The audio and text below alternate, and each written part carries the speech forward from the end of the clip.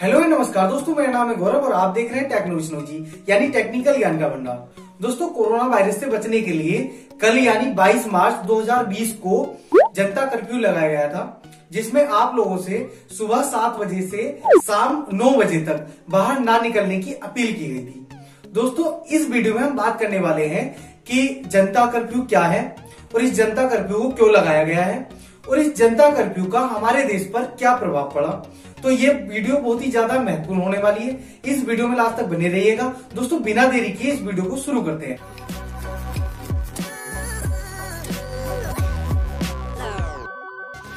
तो आइए दोस्तों, जान लेते हैं कि जनता कर्फ्यू क्या है। दोस्तों, ये कर्फ्यू धारा 144 के तहत लगाया जाता है।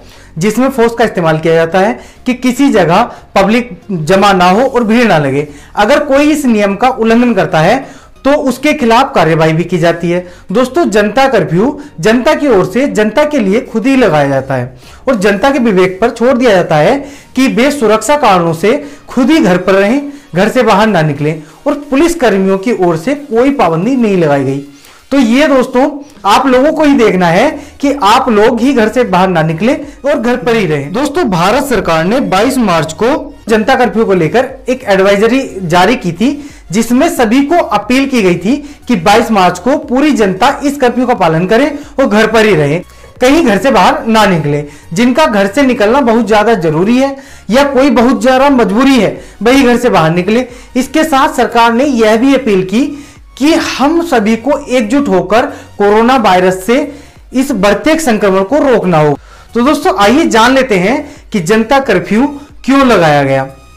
दोस्तों, जनता कर्फ्यू का खास उद्देश्य लोगों को एक दूसरे के संपर्क में आकर संक्रमित होने से रोकना है। अगर लोग एक दूसरे के संपर्क में कम से कम आएँगे तो लोगों में कोरोना वायरस के फैलने का खतरा खुद ही कम हो जाएगा। दोस्तों, जनता कर्फ्यू का इस वायरस के संक्रमण की चैन को तोड़ने की एक बहुत अच्छी कोशिश है। दोस्तों, अभी भारत में कोरोना वायरस की तीसरी अवस्था, यानी थर्ड स्टेज नहीं है। दोस्तों, ऐसे में हम सावधानी से रहकर इसके बढ़ते संक्रमण को रोक सकते हैं, क्योंकि कोरोना वायरस की तीसरी अवस्था बहुत ही ज़्यादा खतरनाक है। दोस्तों, कोरोना वायरस का असर हवा में कुछ घंटे और ज़मीन पर लगभग 14 घंटों तक रहता है। ऐसे में अगर हम 14 घंटों तक इस वायरस से संक्रमित व्यक्ति से दूर रहें तो इसके संक्रमण का खतरा काफ़ी कम हो जाएगा। दोस्तों, देश में बहुत बड़ी संख्या में डॉक्टर्स और हेल्थ वर्कर्स मरीजों की सेवा कर रहे हैं। ऐसे लोगों के लिए कोरोना वायरस किसी खतरे से खाली नहीं है। फिर भी वे लोग अपनी जान को जोखिम में डालकर हम लोगों की सेवा कर रहे हैं। दोस्तों, ऐसे लोगों को प्रोत्साहित करते हुए सरकार ने अपील की थी कि शाम को ठीक पाँच बजे अपने घर के दरवाजों, खिड़कियों और बालकनी पर खड़े होकर मानवता की सेवा कर रहे इन लोगों को थाली, ताली और घंटी बजाकर आभार व्यक्त करें। दोस्तों, सरकार की इस अपील पर सभी लोगों ने खूब समर्थन करते हुए थाली, ताली और घंटी बजाकर आभार व्यक्त किया। तो आइए दोस्तों हम बात करेंगे कि जनता कर्फ्यू का क्या असर रहा। दोस्तों, जनता कर्फ्यू के तहत कल मॉल शॉपिंग सेंटर और ज़्यादातर दुकानें बंद रहीं। हालाँकि मेडिकल स्टोर्स और ज़रूरी सामान बेचने वाली दुकानें खुली रहीं। देश के लगभग सभी राज्यों में शराब की दुकानें बंद रहीं। दोस्तों, भारतीय रेलवे ने कहा कि शनिवार आधी रात से रविवार रात 10 बजे तक सभी पैसेंजर ट्रेन बंद रहेंगी। रविवार सुबह चार बजे से मेल ट्रेन भी बंद थी। रविवार रात्रि 10 बजे तक सभी इंटरसिटी ट्रेन कैंसिल रही। दोस्तों, इसके अलावा लगभग 700 से भी ज़्यादा ट्रेनें पहले से ही कैंसिल रही। लोकल ट्रेनें भी कम से कम चली। कई शहरों में मेट्रो सेवाएँ नहीं चली जिनमें नोएडा, दिल्ली, मुंबई, लखनऊ, बेंगलुरु, हैदराबाद और चेन्नई शामिल रहे। कई एयरलाइन कंपनियों ने भी अपनी उड़ानों में कटौती की। कई राज्यों की बस सेवाएँ भी रोकी गई, जिनमें उत्तर प्रदेश, दिल्ली, गुजरात, हरियाणा, तमिलनाडु एवं उड़ीसा जैसे राज्यों में सरकारी बसें बंद रहीं। कैब सर्विसेज़ जैसे उबर और ओला की कोशिश भी यही रही कि ड्राइवर्स ज़्यादा रोडों पर ना रहें। हालाँकि इमरजेंसी सर्विस के लिए कैब सर्विस अवेलेबल रही दोस्तों, पेट्रोल पंपों को लेकर अलग अलग राज्यों में अलग अलग आदेश थे। इंडियन पेट्रोलियम डीलर्स ने बंदी का ऐलान किया।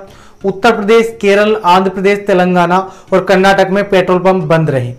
लगभग एक लाख ऑटो रिक्शा वालों ने जनता कर्फ्यू का समर्थन किया। दिल्ली ऑटो रिक्शा संघ ने भी कल सेवाएँ न देने का फैसला किया। दोस्तों, कोरोना वायरस से संक्रमित व्यक्ति जब भी छींकता है या खांसता है तो कोरोना वायरस हवा में कुछ घंटे और ज़मीन पर लगभग 14 घंटों तक रहता है। अगर कोई दूसरा व्यक्ति उसके संपर्क में जाता है तो वह भी संक्रमित हो जाता है।